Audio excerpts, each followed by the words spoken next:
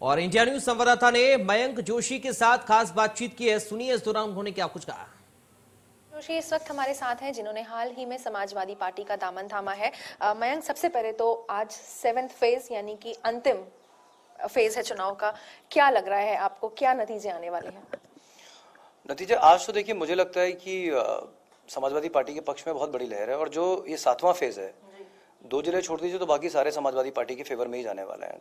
और मैं सिर्फ़ इसलिए नहीं बोलना चाहता क्योंकि मैं समाजवादी पार्टी में हूँ मगर जो मैंने भी एनालिसिस करी है अभी तक की तो आई फील कि हम लोग बहुत ही कंफर्टेबल मेजोरिटी के साथ सत्ता में आएँगे। अखिलेश जी को सत्ता में आने से अब कोई नहीं रोक पाएगा। मयंक आपने बहुत ही जल्दबाजी में समाजवादी पार्टी का दामन थामा। क्या लगता है बीजेपी में क्या कमियाँ रह गई थी जिसको पूरा करने के लिए आपने इस पार्टी को चुना? नहीं जल्दबाजी में नहीं किया। अगर जल्दबाजी की होती तो जिस दिन चुनाव का टिकट घोषित हुआ भारतीय जनता पार्टी का शायद उस दिन चला जाता। उसे नीजर्क रिएक्शन बोलते हैं।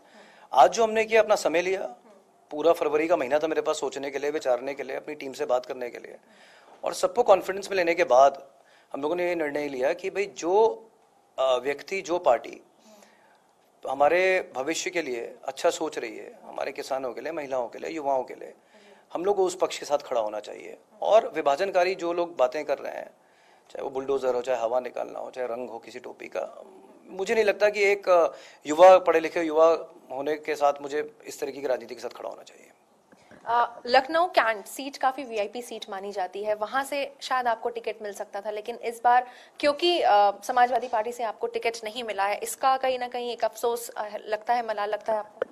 नहीं समाजवादी से तो मैंने टिकट नहीं मांगा था। भारतीय जनता पार्टी में अवश्य मैं उस समय कार्यरत था और मैं लखनऊ में 2009 से आ गया था अपनी नौकरी छोड़ के विदेश से और तब से यहीं हूँ। और कैंट विधानसभा क्षेत्र का कई बार आशीर्वाद भी मिला इस परिवार को। मेरी माँ को दो बार जिताया। लोकसभा में भी हम जीत के जाते थे यहाँ से। तो ज़ाहिर सी बात है कि निराशा होती है, लेकिन निराशा इसलिए भी होती है क्योंकि जो मानक भारतीय जनता पार्टी सेट करती है, वो मानक मुझे मुझे परिभाषित नहीं है कि मयंक जोशी के लिए परिवारवाद है। बाकी जो महानुभाव, उनके पुत्र, सुपुत्र, पौत्र लड़ रहे हैं, उनके लिए नहीं है। तो ये प्रश्न आप अगली बार उनसे ही पूछिए कि भाई आपने क्या नॉर्म सेट किया है, ताकि जो आने वाली पीढ़ियाँ जो उस पार्टी में लगी हुई हैं, जिनका परिवार जो मैं तो कई बार कहता हूँ कि क्या मतलब हम लोग क्या शापित हैं जो एक परिवार में पैदा होगा अगर भारतीय जनता पार्टी में राजनीति करना चाहते हैं तो, तो ये प्रश्न वो उसका जवाब देंगे। अ, रीता जी की अगर बात करूँ तो भारतीय जनता पार्टी में वो हैं। आपने समाजवादी पार्टी ज्वाइन कर ली। आने वाले समय में क्या लगता है आप लोग एक पार्टी के साथ ही काम करेंगे या अलग अलग में ही रहेंगे? अनेकों परिवार है आपके पास उदाहरण है। सिंधिया जी का परिवार था इतने वर्षों दशकों। अभी समाजवादी पार्टी से एक समाजवादी पार्टी के परिवार को वो अपने परिवार में भी ले गए हैं। तो ये चलता है। देखिए, जिसको जहाँ लगता है कि भाई मेरा फ्यूचर है या उसको लगता है उस पार्टी का फ्यूचर है या वो पार्टी किस तरीके की बातें कर रही है, उसकी विचारधारा क्या है, वो उसके साथ जुड़ सकता है। जनतंत्र है, लोकतंत्र है, हम सबका अधिकार है। ये ज़रूरी नहीं है, अनिवार्य नहीं है कि मेरी माँ वहाँ है तो मैं वहाँ रहूँ, या अगर मैं यहाँ हूँ तो वो यहाँ है। तो आज के दिन वो भी भारतीय जनता पार्टी में है और मैं समाजवादी पार्टी में कार्यकर्ता के रूप में आया हूँ मैं बहुत प्रसन्न हूँ आज। एक आखिरी सवाल ये भी जानना चाहूँगी जो पार्टी है बहुत तरीके के बातें करती है चाहे वो बिजली फ्री देने की बात हो चाहे वो बुलडोजर की बात हो चाहे वो हिजाब की बात हो आप इन सारे चीज़ों को किस तरीके से देखते हैं? देखिए मुझे हताशा दिखती है जो रूलिंग पार्टी है। अगर आपने पाँच वर्ष इतने अच्छे कार्य किए होते तो आज हम उन कार्यों को लेकर जनता के बीच में जा रही होती वो पार्टी। लेकिन अब आपके पास क्योंकि नहीं है कुछ गिनाने या बताने को या आपके संकल्प पत्र में भी ऐसा कुछ नहीं है जिसके ऊपर जनार्दन को यकीन हो इसीलिए आप इस तरीके की विभाजनकारी बातें कर रहे हैं। अब बैंगलोर के हिजाब का यहाँ से क्या मतलब? या यूक्रेन से बच्चे आ रहे हैं तो उसमें आपने क्या बड़ी आप नगर उड्डयन मंत्री के पास जहाज़ ही नहीं चलाने के लिए? ये तो बहुत पहले हो जाना चाहिए था। आज आप अपनी पीठ ठोक रहे हैं। आपने सारे जहाज़ बेच दिए। ये तो पहले दिन ही जाके ले आना चाहिए था सबको। मुझे याद है कि स्वर्गीय सुषमा स्वराज जी जब मंत्री थी जब गल्फ में क्राइसिस हुई थी, सबको ले आई थी पहले दिन ही जा करके तो ये तो शर्म की बात है। इसमें अपनी पीठ ठोकना और ठपटवा मुझे नहीं लगता ये ठीक है।